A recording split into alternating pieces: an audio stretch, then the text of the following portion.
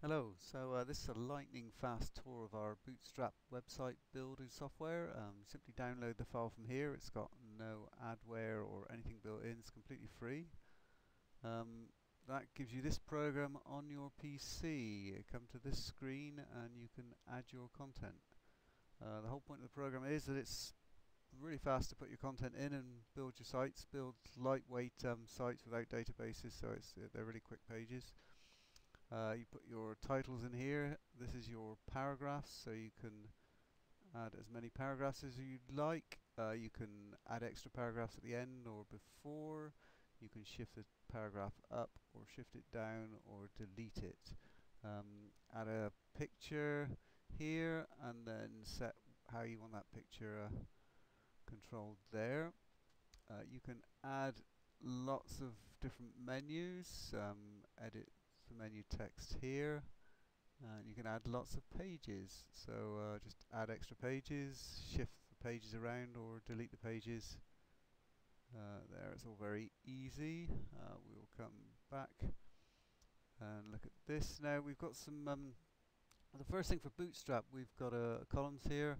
This is the when it starts a new row every 12 columns. This allows us to change the way the rows the width of the width of the columns. And this allows us to put in um, if we need a clear fixed line. All these um, just call in external text files. I'll show you where they are later so you can change and configure everything exactly as you you want. Um, you have to turn the grid on to do that otherwise it just keeps a full width page. Um, we've got some auto code generators so you can do things like create tables import a table from Excel um, and then build all the uh, the HTML with that. Um, also you can configure it, you've got some, just add your own script file, so if you had a custom script file, um, that's just an external text file, uh, JavaScript or whatever. Here we've got our carousel standard, bootstrap carousel. You can put things in here, they go into the head, put things in here, it goes into the top of the body, put things in here, it goes into the main paragraph text. So that's all easy enough. You say you could all the text, nothing comes from the program. All the text is external. Change and configure it exactly how you want. Um, then all we need to do is to build the website. You just come to the screen, click that, and it parses all the text that you've put in. Here's our website, our column widths. That's fine. If we um, if we look here, it shows you this is where the website is being built, and this is the template that we're using to build it. So it's just parsing the text from the previous screen into this template and creating as many pages as you as you need. Um, we've got a design selector here, so uh, these are the only Bootstrap templates at the moment, only two of them. But if we want a sidebar, we can overwrite, and that just changes the template file. And so now we've got one with a sidebar. Um, all very easy. Uh, let's have a look. There is an upload page, but uh, I prefer FileZilla as a lot more powerful. Um, so here's our CSS with the extra code we just use on our site. Here's the um, template file. Now, it's if you look down, it's just a standard HTML template, and here instead of where we'd have the title text, we've got our um, title tag. Uh, all your tags on the website you can see what they, they all mean, but here you can put them in a little utility to put them in a bit more easily. Um, probably the important one is the main body for each paragraph.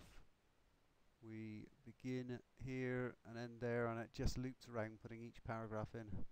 So you can configure it to look at um, exactly as you like really. So that's that section. The final one that's of interest, oh, we'll just get the project set up. Uh, here's our project files. You can create as many projects as you like. Um, so start different websites and here is the text file. So that's the data file that controls all the text, a little XML data file. Um, means you can back it up, never lose your information or keep lots of different copies. This is where you build it to. Obviously more sites you need to set a different location to be built to. And here's where you enter your template again. Um, the initial page, the index page, doesn't have to be called index, but you can configure it here to what you need and put a prefix in. You can have names instead of letters. Um, and you can also run ASP, PSP pages here, so put in the extension that you need, or just even if it's just a part of an, in an include uh, into a page. This is an important directory. It's the default one, which is where all those um, text files are saved that set up the uh, say what you call in when you select certain features. We'll do more about that later. Uh, and the template as well. There's a template uh, for the sitemap, and this is where the sitemap you can change where your sitemap's held. If we look at our sitemap, builds all this automatically, and the um, XML sitemap for uh, Google's built automatically so that makes things a lot easier and that's really just about the summary of it all. Um, say it's all free but if you want to have a look at our educational science cartoons promoting energy saving for Bristol Green Capital that would be quite nice. Uh, other than that give it a go. Thank you